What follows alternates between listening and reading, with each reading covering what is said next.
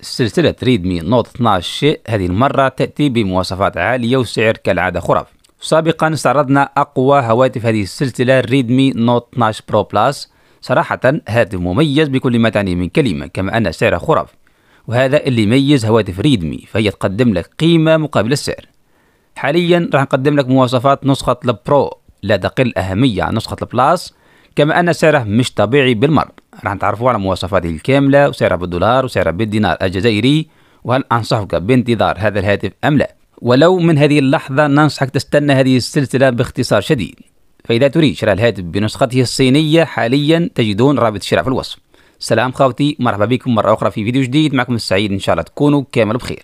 كالعادة لايك للفيديو وإذا كنت تشاهد قناتي لأول مرة اشترك الآن فعل جرس التنبيه باش توصلك كل الإشعارات. والآن نبدأ على بركة الله. بداية هذه السلسلة تأتي بنفس التصميم لكن الاختلاف أن الريدمي نوت 12 و 12 برو يأتيان بحواف مسطحة وشاشة flat. على عكس نسخة البلاس تأتي بحواف منحنية من الجانبين سواء الواجهة الخلفية أو الأمامية الاختلاف الثاني في الخامات فهناك تأتي من البلاستيك وهذا الاختلاف كبير صراحة لأن الزجاج أفخم بكل تأكيد. وزنه 187 جرام أبعاده تعتبر ممتاز. يدعم مقاومة خفيفة للماء والغبار بشهادة IP53 المميز أنه يدعم منفذ 3.5 من السماعات. يدعم صوت ستيريو يدعم بصمة أسفل الشاشة تقدم لك أداء ممتاز. يتوفر الهاتف بعدة ألوان عندك اللون الأسود والأزرق والأبيض والبنفسجي بالنسبة للشاشة تأتي من نوع OLED مقاس 6.67 إنش بجودة ال Full HD Plus بمعدل كتابة بكسلات 395 بكسل في الإنش. تدعم معدل تحديث 120 هرتز تدعم ال HDR 10 Plus تدعم ال Dolby Vision وتدعم مليار لون. تقدم لك سطوع ممتاز تحت أشعة الشمس يصل ل 900 nits. شاشة بجودة عالية وراح تستمتع بالمشاهدة والفرجة من ناحية الألوان المشبعة والتفاصيل الرائعة. بشكل عام راح تديك متعة مشاهدة واستخدام رائعة جدا باختصار شديد. الهاتف يأتي بمعالج جديد من MediaTek Dimensity 1080 بدقة تصنيع 6 نانومتر ومعالج رسومي Mali G 68 هذا المعالج راح يكون مميز جدا فهو يعمل على تحسين الأداء والكاميرات والبطارية. لذلك أنا شخصيا أتوقع أنه راح يكون أفضل معالجات الفئة المتوسطة بامتياز. راح يقدم لك تجربة أداء مميزة من ناحية السلاسة والاستجابة العالية في المهام اليومية كما أنه راح يقدم لك تجربة ألعاب ممتعة وبكفاءة عالية جدا. الهاتف يتوفر بعدة خيارات.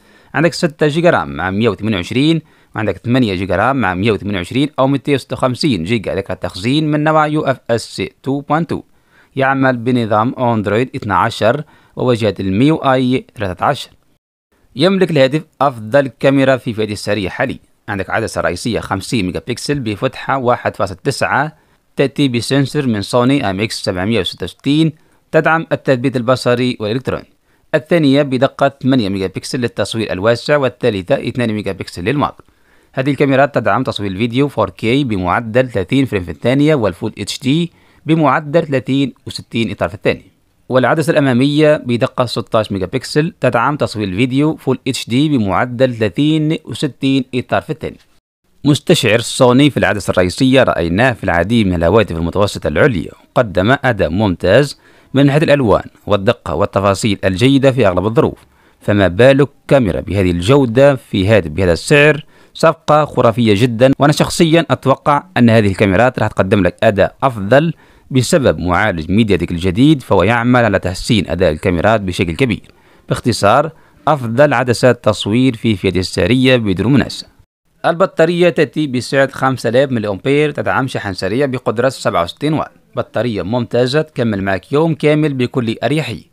هاتف بمواصفات عالية جدا تجعله أفضل خيار للشراء لأنه يملك كل ما تبحث عنه. شاشة ممتازة معالج قوي كاميرات مميزة صوت ستيريو عندك أيضا بطارية كبيرة وشحن ممتاز. أخيرا تصميم شيك جدا وزيد على ذلك سعر رهيب رهيب جدا. فنسخة 6 جيجا مع 128 سعرها 235 دولار فقط أي سعر حوالي 4500 وهذه ليست صفقة خرافية بل هي صفقة خيالية.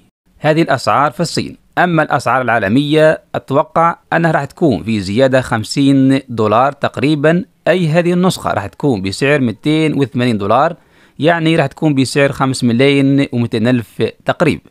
وهو سعر خرافي جدا مقارنة بالمواصفات العالية. لذلك ننصحك تستنى هذه السلسلة باختصار شديد. أما الإصدار العالمي لهذه الهواتف أتوقع راح يكون شهر ديسمبر. كان هذا كل ما لدينا حول هاتف ال Redmi Note 12 Pro في الأخير تنساش تدعمني ب like للفيديو وإذا كنت تشاهد قناتي لأول مرة اشترك الآن. اشترك الآن. فعل جرس التنبيه باش توصلك كل الإشعارات. دمتم في رعاية الله وحفظه